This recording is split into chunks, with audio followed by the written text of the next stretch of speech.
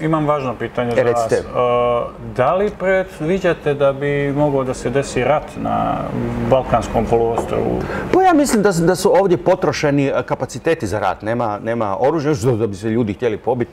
Ne- neće biti problema. Mržnje, ima, mržnje na ovim prostorima ima uvijek dovoljno i može se izvoziti. I svaki put kad se nešto dogodi, kao što su sad ove demonstracije u, u Beogradu, a, vidite da krvavim očima izađu, izađu van na ulice. Nije problem ni, ni u Hrvatskoj, ove s druge strane, jel?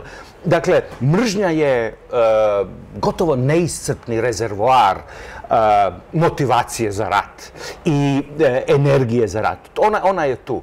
Međutim, mislim da nema nema dovoljno oružja, nema dovoljno, nema dovoljno, nije situacija. A nema ni neke vrste suvereniteta? Tako je. Tako je. Nema, nema sad, sad će tu nekakav...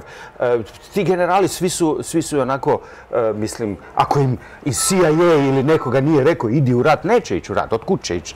Neće sama odlučivati hoće li ići ili neće.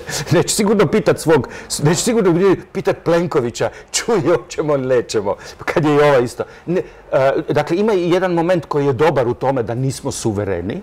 Sad će tu, ne znam,